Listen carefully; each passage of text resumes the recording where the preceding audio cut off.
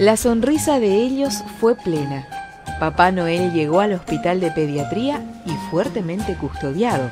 Uniformados de la Escuela de Formación de Agentes de Policías juntaron más de 300 juguetes en una cruzada solidaria para niños humildes. Entre los camaradas, decimos nosotros, eh, decidió la idea de eh, reunir, de recolectar juguetes ya sea para niños y niñas para poder eh, repartir en estas fiestas. De modo de acompañamiento también sabiendo que, estamos juntos con ellos y bueno, lo que es también el lema de nuestro instituto, ¿no? del IFOTEP, que es educar para ser y servir. Eh, desde ese lado poder también acompañar a esos niños que muchas veces, bueno, la mayoría a veces no tienen la familia o no tienen eh, los medios necesarios para recibir un regalo. Son una totalidad de 270, 280 aspirantes. Eh, de los cuales cada uno tenía que traer un juguete. ¿sí?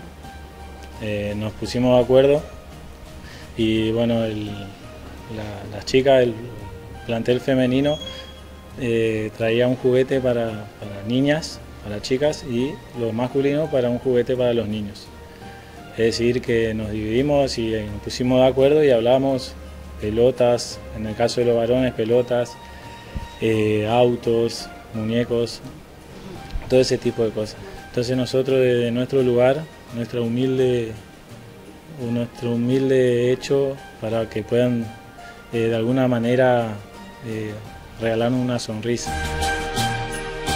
La permanente vocación de servicio llevó esta Navidad una sonrisa a muchos niños. La idea es esa, acercar eh, nuestra policía a la comunidad. Ellos recién comienzan con esto entonces, eh, la verdad que eh, este lema nosotros de decir de permanente vocación de servicio también se lleva a cabo con esto, de, llevar, acercar a la comunidad, a la policía. Ellos son aspirantes, ellos eh, ingresaron hace poco y ya tienen estas propuestas. Me imagino que cuando sean realmente, porque ellos todavía están en la etapa de formación, van a seguir con estas propuestas que la verdad que nos alegró a nosotros porque nació de ellos.